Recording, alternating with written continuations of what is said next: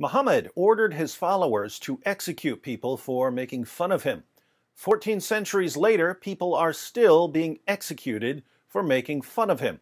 Oddly enough, politicians and journalists simply can't see the connection between Muhammad ordering his followers to execute critics and his followers obeying his order to execute critics.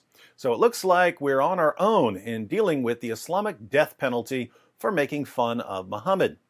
The French satirical magazine Charlie Hebdo paid a heavy price for standing up for freedom of speech.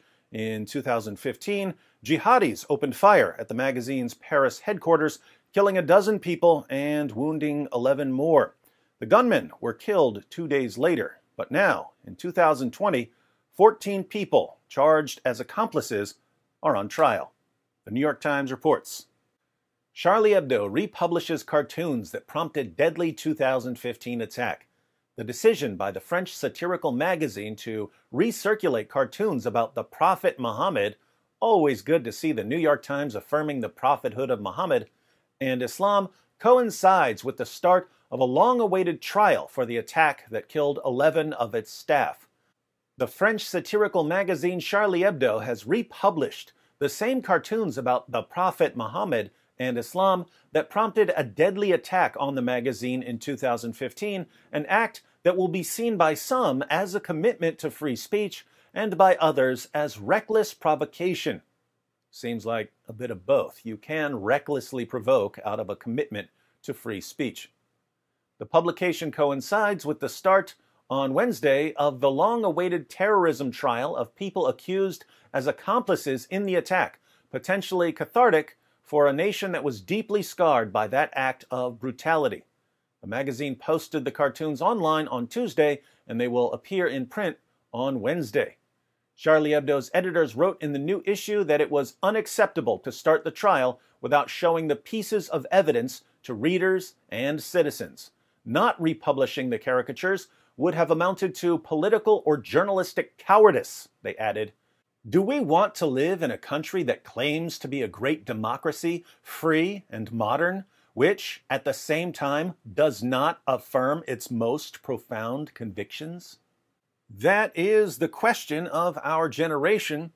Western civilization says we're free to criticize the teachings of an illiterate 7th century caravan robber who calls for our violent subjugation, Sharia says we're not free to criticize the teachings of an illiterate 7th century caravan robber who calls for our violent subjugation. For some reason, Western leaders keep trying to move in the direction of Sharia, while those who remain firm in their commitment to freedom of expression are massacred by jihadis, or at least deplatformed by Facebook, Twitter, and YouTube. The attack on Charlie Hebdo was the first of a string of major Islamist attacks on Paris.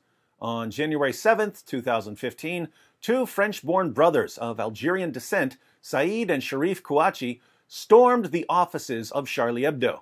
They killed 11 people inside with automatic gunfire, including the top editor and some of its leading cartoonists, then killed a police officer on the street as they made their getaway. Several people were wounded. The brothers identified themselves as belonging to Al Qaeda and left the magazine stating that they were avenging the Prophet, according to survivors of the attack. Two days later, a friend of theirs, Amedy Coulibaly, took hostages and killed four people at a kosher supermarket in Paris. The worst of the assaults came 10 months later when a group of Islamic State gunmen and suicide bombers killed 130 people and injured more than 400 at multiple sites across the capital region.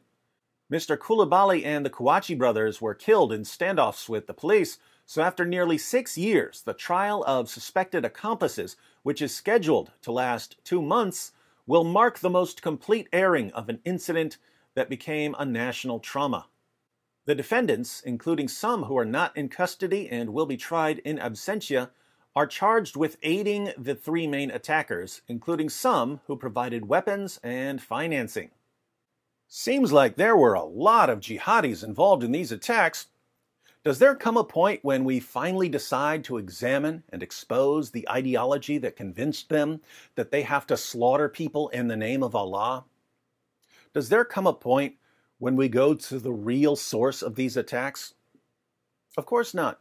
If we examine the ideology, we'll find that Muhammad ordered his followers to execute critics and that he promoted terrorism. So the only way to deal with the source of the problem would be to criticize Muhammad and to show that he's not a true prophet. But according to our leaders, that would be racist and Islamophobic. We don't want to be racist and Islamophobic, so instead of criticizing Muhammad, we'll praise him. We'll praise an illiterate 7th century caravan robber who calls for our violent subjugation and for the annihilation of our civilization. We'll defend Muhammad. We'll promote Muhammad. We'll always call him prophet, right? New York Times? And thus will help provide the fertile soil from which will grow the next crop of jihadis slaughtering us in the name of Allah. Imagine how much future violence we could prevent if we simply realized that it's not racist and Islamophobic to criticize an illiterate 7th century caravan robber who calls for our violent subjugation.